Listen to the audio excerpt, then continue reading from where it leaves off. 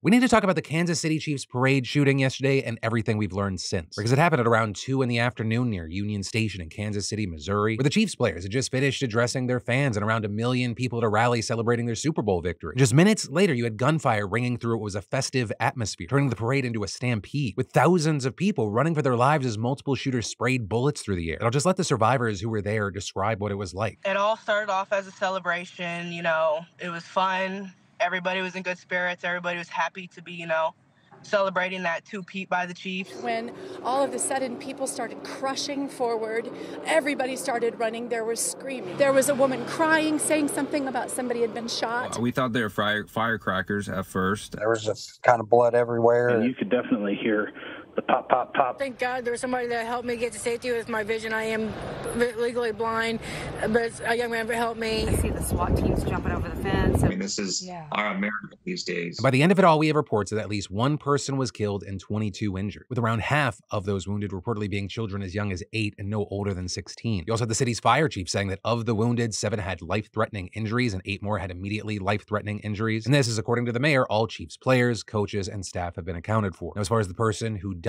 she's been identified as 43 year old Lisa Lopez Galvan. She was a mother of two, a radio DJ, and the host of Taste of Tejano, with the station putting out a statement saying this senseless act has taken a beautiful person from her family and this KC community. And a legislator who knew her saying she was a member of a very large family of civic leaders actively involved in the city's Latino community, and adding she was the light at every party. She was oftentimes the voluntary DJ when everyone needed one for a community event. Also, with this horrific situation, you have another person who's been widely praised as a hero, and that being 46 year old Paul Contreras. Right? He was just a father who was walking back to his car with his three daughters when the shooting started. And with that, him saying that he saw one of the alleged shooters running and heard someone screaming to stop him. And so he just leapt into action, telling CNN. I just, you don't think about it. It's just a reaction.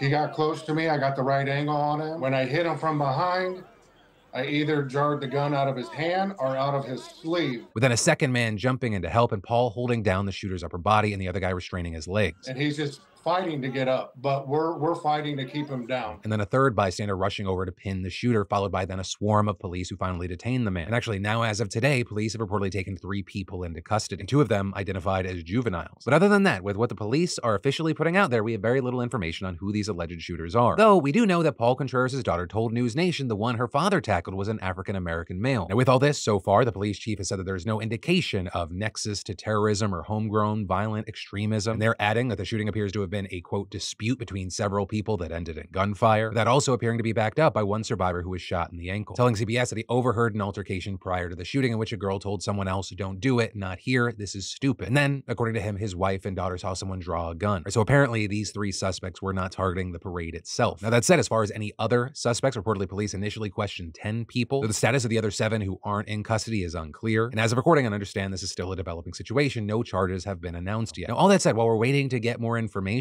online you may have seen that there's another big question floating around, with people now in the wake of this saying, why didn't the more than 800 cops policing the parade stop this sooner? Or saying, why did three consecutive civilians have to risk their lives tackling a gunman before law enforcement caught up? But, you know, as we wait to hear more, of course, people have been sharing their responses, and that includes both everyday people and even the President of the United States, with President Biden posting how many more families need to be torn apart. It's time for Congress to finally act to ban assault weapons, limit high capacity magazines, strengthen background checks, and keep guns out of the hands of those who have no business owning them. But with all that said, as we wait to see how this plays out, and of course, I'd love to know your thoughts here, I do want to end today by focusing on those brave BAMFs who, without a weapon, risked their lives and acted because people really never know how they're going to respond to a situation like that until they're in it. When the shit hit the fan that none of these people should have had to be a part of, they acted and possibly saved numerous lives